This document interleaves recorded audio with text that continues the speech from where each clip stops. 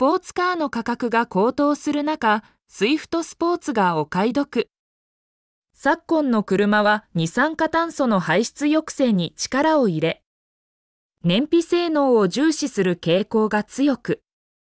さらにはスポーティーな走りに対するユーザーの関心が以前よりも薄れたこともあり、優れた走行性能を発揮できるスポーツカーが減っています。そして生産台数の減少も影響して、スポーツカーの価格は上昇傾向にあります。例えば1.5リッター直列4気筒エンジンを搭載するマツダロードスターで最も安価な S 6速 MT の価格、消費税込み以下同様は289万8500円。2.4リッター水平対向4気筒エンジンのトヨタ GR86 6速 MT は、売れ筋グレードの RZ になると価格は347万6000円に達します。スポーツカーは実用的な商品ではなく趣味の車といえ、そのために価格の割安度が重視されるカテゴリーではありませんが、欲しい人にとっては切実な問題でしょう。その意味で注目されるのが、スズキ、スイフトスポーツです。現行型は先代、スイフトをベースに開発され、価格は216万4800円、6速 MT です。スイフトスポーツは価格は求めやすい設定ですが、エンジンは1.4リッター直列4気筒ターボエンジンで、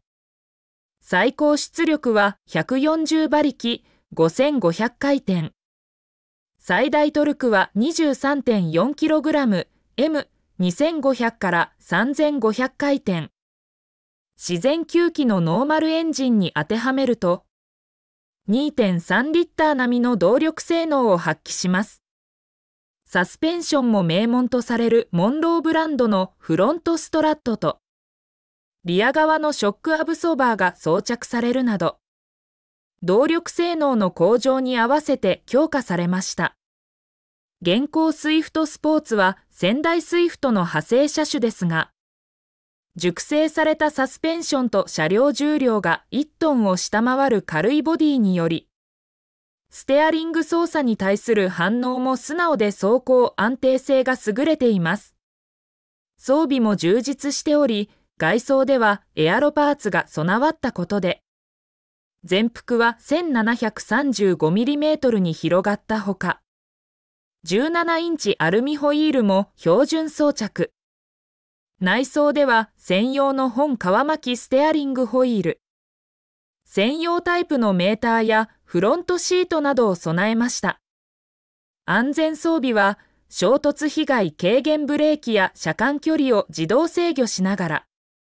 追従走行できる運転支援機能のアダプティブクルーズコントロール、サイドカーテンエアバッグ後方の並走車両を検知して、知らせるブラインドスポットモニターなども標準装着されます。新型スイフトスポーツはどうなる？スイフトスポーツがここまで機能や装備を充実させて、価格を216万4800円6速 MT に抑えられた背景には2つの理由があります。1つ目はスイフト全体の価格が安いことです。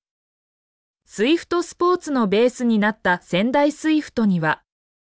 1.2リッター直列4気筒自然吸気エンジンを搭載しながら、スポーティーなサスペンション、エアロパーツ、アルミホイールなどを標準装着する RS がありました。この RS の価格は179万3000円5足 MT に抑えられ、スイフトスポーツも安価にできたというわけです。二つ目の理由は、スイフトスポーツが先代スイフトの標準グレードと比べても、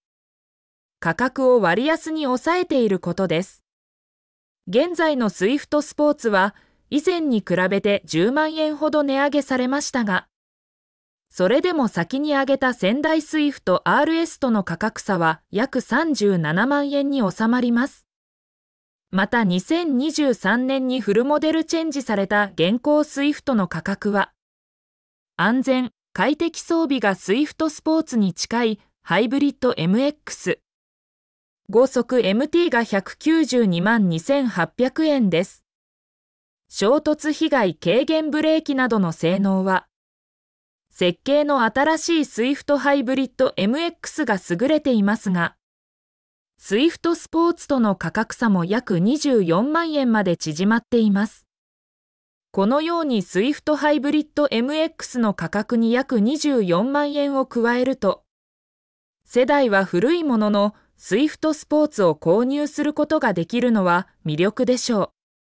スイフトスポーツがフルモデルチェンジを受けて、安全装備を進化させながら価格も上昇したため、現行スイフトスポーツの買い得度が際立ってきたというわけです。スイフトスポーツの歴代モデルには、それぞれ異なる特徴があり、各世代にファンがいます。新型の登場を受けて、あえて従来型を選ぶ買い方も成り立ちます。しかも価格が割安ですから、スイフトスポーツは人気を高めて当然でしょう。スイフトが先代型だった2023年は、スイフトシリーズの約半数をスポーツが占めていました。スイフトのイメージを高めることも視野に入れ、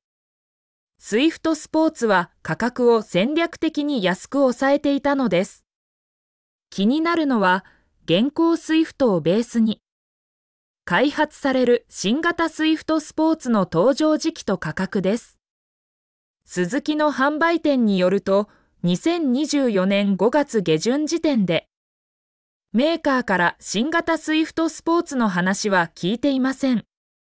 現行型の注文も入れられます、とのこと。そうなると新型スイフトスポーツの発売は、2024年9月以降になり、2025年に入るかもしれません。そして新型スイフトスポーツは値上げされる可能性が高いです。その理由として1.4リッターターボエンジンを継続搭載しながら、新しくなったスイフトの標準グレードと同様に、マイルドハイブリッドを装着するであろうことが挙げられます。安全装備も充実させ、昨今の原材料費や輸送費の高騰にも対応するとなると、新型では20万円少々値上げされ、240万円くらいに達する可能性があるのです。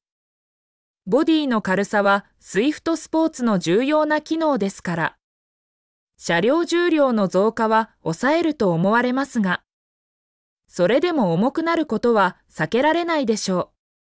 そのため、ユーザーによっては、新型よりも現行型の走りが好みに合うかもしれません。